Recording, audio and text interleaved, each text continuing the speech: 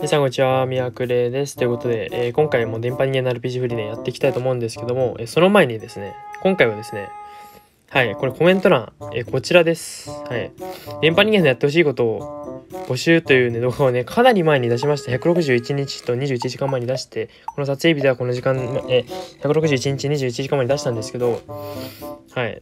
えー、っとね、ちょっとこれね、あまりにも最近ね、来ててもやれてなかったので、まあ、今回はね、偽トロとかも買って、まあ、今回だとちょっと前に偽トロも買って、まあ、録画とかもね、しやすくなったとかっていうのもあるので、まあ、それもまあ一応あるんで、まあ、それはそんなまあ、大きなことはないけど、まあ、ただにやってなかったってなるけど、まあ、今回から、今回からっていうか、まあ、今回の動画は、ちょっとね、このリクエストにあるね、動画を、あリクエストの、この動画に来てるリクエストから1個ちょっとね、やっていこうかなと思います。はい。で、ちょっとね、なんかスマホ画面映してるんですけど、今。はい、これ僕のスマホです、ちなみに。はい、それはまあどうでもいい。えっ、ー、と、こんな感じで来てます、たくさん。でね、このハートついてるやつは、もうなんやったやつですね、過去に。で、まあいろいろ来てます、本当にもう。見ました、全部。はい。うん。まあ、タイタンしたりとかね、完熟活したりとか、アタッカー6人で邪神。まあ、これは楽すぎる。これはまあやんないと思う。何かって言っても、これは簡単すぎるから。うん。まあ、分かっちゃってるのでやりません、これは。まあ、で、これもまあ、これも、うん、ペンギンって、まあ、ペンギンロード、これもまあちょっと長いし、分かりにくいから、まあ多分これも今回でやらないと。単体攻撃のアンテナを作ってほしいっていうのもなんか動画としては、なんか作る系っていうのは結構時間かかるんで、まあこれは動画には向いてないとまだやらないと、今回は。で、雪キャッチで出たアンテナだけで戦うっていうのも、まあジュエルかかるし、これはちょっとできないかなって感じですね。で最大型のアンテナ封じ作ってみた。これもまあ、作ってみたって言うけど、作ってみたところでバイコロやってくださいと書いてないんで、まあ、作ってみたっていうのじゃ動画作れないんで、これも多分、まあ、今回はやらないと。今回はっていうか多分やらないと。ワイコロで子供になり使いまくる。まあ、子供になり自体僕持ってないんで、これもまあできないと、今回は。で、新しいデータで1から。これはまあできないです。はい。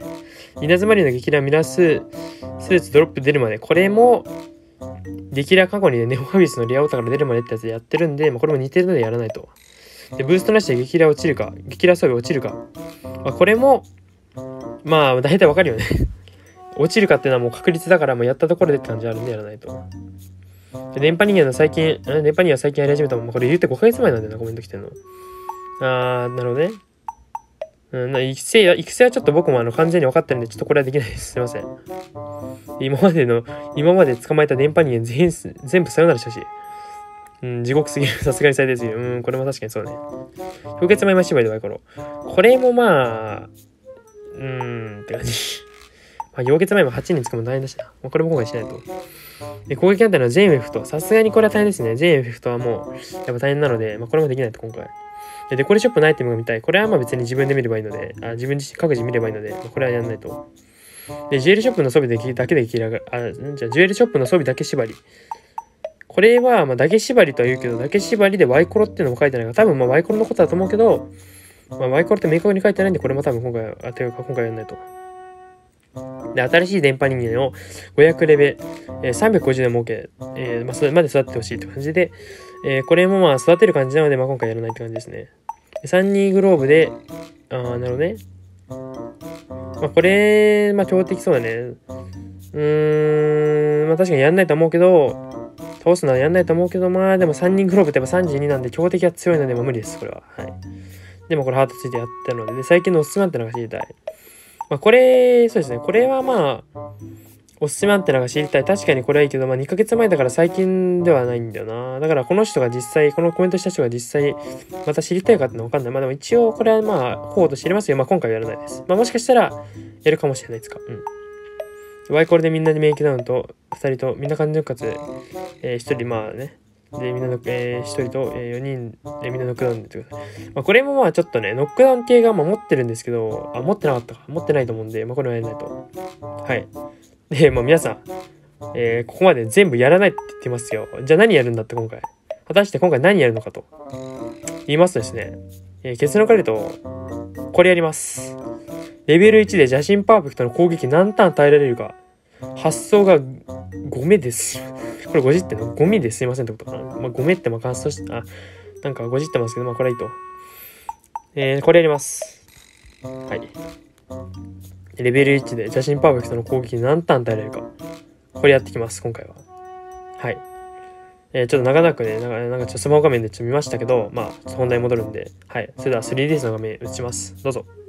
はい、ってことでね、改めまして皆さんどうもこんにちは、ミヤクレなんですけど、えー、早速ね、やっていきます。はい。レベル1で邪神パーフェクト、何ターン耐えられるかチャレンジ。もう今回耐えられるかチャレンジなんで、もうレベル1で死神の鎌とプレミアムクロス、監視100%。これで最、最一番、あの、やられるリスクが低いようにしてます。そう、あの、電波人間の RPG フリーはね、あの、3はね、あの、ゴースト化とかね、あの、確率なかったからできたんですけど、まあ、フリーは、ゴースト化率とか75とか、まあ、制限されちゃって、ゴーストが100%で装備はないので、まあ、絶対完全無敵は無理なんで、まあ、今回はこれでね、早速、邪神パーフェクト何ターン耐えられるか。これはもう本当に一発勝負なので、たとえこの動画が一ターンで終わろうと、一ターンでやられようと、ちゃんと動画化します。はい。やってみます。いやー、邪神パーフェクトだからな。いや、でも言うてね、反射も100%だから。うん。そう。言います。ちょっとスタミナがもったいないような気もするけど、まあ、しゃあない。これは動画のためだ。はい。言いましょう。言います。